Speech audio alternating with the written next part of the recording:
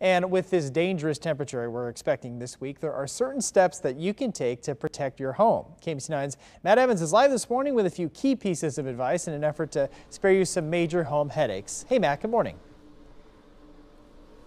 Good morning to you, Rob. If you've lived in Kansas City or the Midwest for long enough, you probably know a few tricks of the trade. For example, opening up cabinet doors. If you have a sink or a faucet along an exterior wall of your home, that keeps the warm air from your home circulating and hitting those pipes. The other thing you can do, of course, is by turning on just a small stream or a small drip of water in your faucets. That's going to keep water moving through your system and water that's moving is a lot less likely to freeze than stagnant water. Something else that you can do to take extra precautions or some more insurance policies uh, this week when it gets extremely cold. If you have some exposed pipes, like a copper pipe coming into your home that's up against an exterior wall that's not insulated, or it's not in a finished basement, or it's not in a heated area or a crawl space, something of that nature, these pipes get really, really cold, really susceptible to freezing and bursting. And you can go to any hardware store and get some copper pipe insulation. This is not actually just for copper pipe. This could be for any kind of pipe that you might have. And it's really easy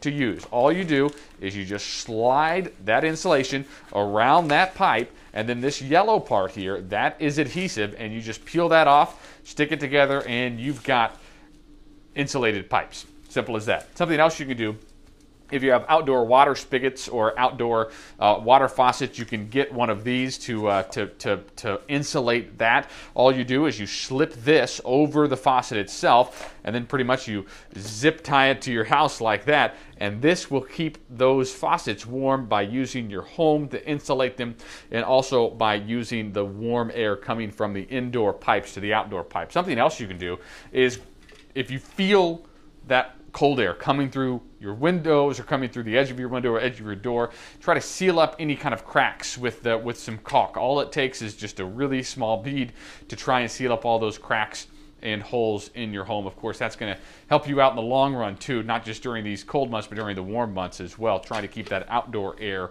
outside. Something else that's important to note is you should know where your water shut off valve is and how to shut off your water. It's right, usually right where the water comes into your home. It's either a, a turn knob or maybe a, a lever that shuts off your water. And if you get a burst pipe, it's important to shut off that water as quickly as you possibly can to try and minimize the damage.